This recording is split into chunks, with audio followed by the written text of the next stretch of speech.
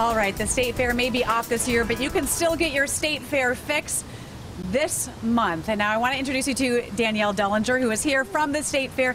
Every year, people look forward to specialty beers, cool, unique flavors. And there's still a way to get in on this this summer, right? That's right. So approximately four to five breweries are selling state fair specialty beers. Normally you can only get them during the 12 days of the fair, but in a year without a fair, we knew that people still wanted a way to celebrate. So this is kind of a way for people to do that in Twin Cities tap rooms. How did you pull this together and how does it kind of benefit the, the fair and the breweries? Yeah, well, we have some great vendors, and our vendors work with some really great tap rooms and breweries. So we just reached out to our vendors, and they're aligning tap rooms and said, hey, would you be interested in doing this? So um, they were all very willing to do it, and we're excited because we're going to have signage up at all those tap rooms um, for you to become a friend of the fair through the Minnesota State Fair Foundation. A year without a fair presents its challenges. So um, sure. we're looking for some of that support, and we're hopeful that people will go to the tap rooms and try these out. Okay, tell us which ones are available. What can we get? Yeah, so this one is the chocolate chip cookie bear. Ooh, it's normally yum. at Andy's Grill. So what they're doing is they are lining it in this kind of syrup, and then okay. you can dip it in these chocolate chips. So that's how it'll be served.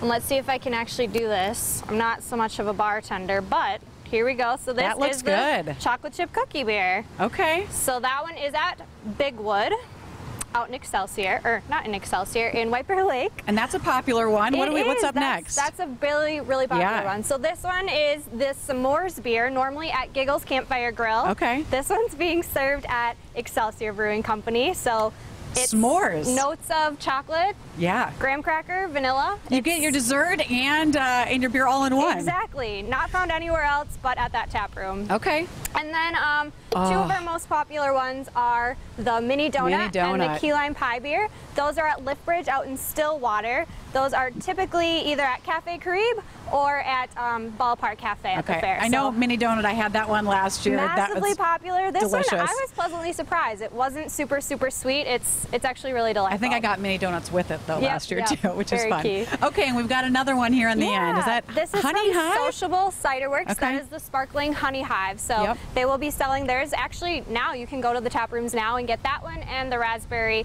hard cider. I believe they actually already sold out of that one, but I think they are coming back with it.